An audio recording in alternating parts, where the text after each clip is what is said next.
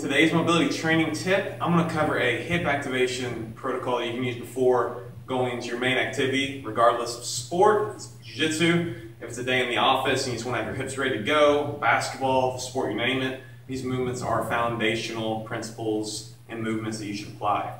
So the first position we're going to go into is a basic bridge, okay? Nothing new that I haven't covered before. We're getting into our bridge. We're stacking knees over ankles. Keep hands flat. You can really put your hands wherever, okay? The main cue, pinch that quarter between your butt cheeks before you lift to get the pre-engagement. All four corners of the feet flat. Push hips up and allow the back of the neck to stay lengthened here. The key is breathing through lower belly, nostril breathing. As I spoke about in the previous video, at least six breaths in the position. That gives us the physiological response to be calm and relaxed. If we're doing all panicked and whatnot, our body's going to store the movement as something it doesn't want because it sees it as stress. By doing it in a calm, relaxed fashion, it will store that motor programming for us to hold this position where glutes are engaged, front half of the body's open. That's instrumental in life, athletic performance, etc. across the board. So we do that six breaths. I would at least do one. And depending on this, your need of activation, you can do two sets, three sets, four sets. But again, six deep breaths, and I'd like to get maximal contraction and engagement, especially before an activity. Now, half a block, the next position I want to add to the sequence is a 90-90 series, okay? So I cover a few different 90-90 positions. Plug and chug as you please. But we have the basic one where we're here. We're pushing our heel and our knee down into the ground like we're mashing the ground.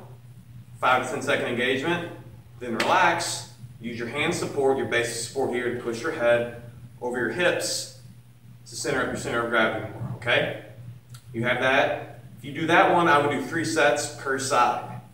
If that's maybe just not as advanced for you and you need a little more, we do the one where we prop our foot up and we do five to 10 seconds mashing the block.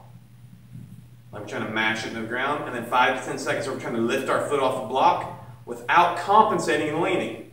Again, head over hips or center of gravity. So five to 10 second push, five to 10 second lift. Each side, I would do at least three sets per side. And then you can sequence and add in more, like our iso holds. I like to do this hold about 20 to 30 seconds roughly.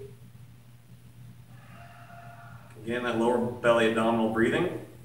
Because again, you're only going to signal for the hips to open and activate and be strong and stable and mobile by breathing through the lower belly and being in a relaxed fashion.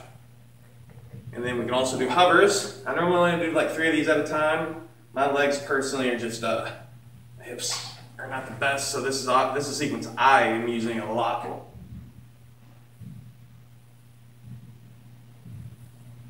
So you have those.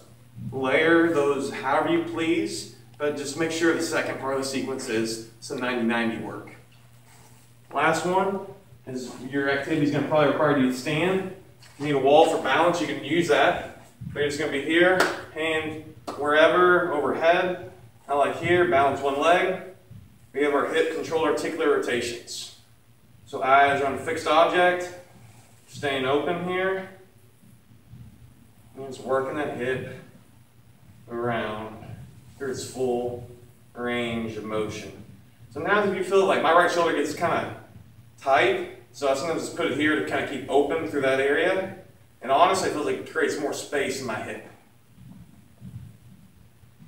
I would aim for at least three to five of those per side. And if you want to make this more extensive, where this is a workout in itself, you just add more sets of each of those. And if your low back and hips are kind of a thing, in my previous video that I covered, I went over a low back protocol where you could add this in after the low back protocol, and it should make you feel really good for activity. Now, with all this though, you always got to be mindful of positioning. You know, I'm a stickler to those things, so just be mindful of the breath, the area of the body that you're activating, that's going to go a long way in allowing this to help you move better, perform better, and honestly go about your day and not be worrying about this thing so you can go do stuff and enjoy stuff. That's what it's really about. Enjoying being in the flesh suit, moving around, having fun, enjoying life.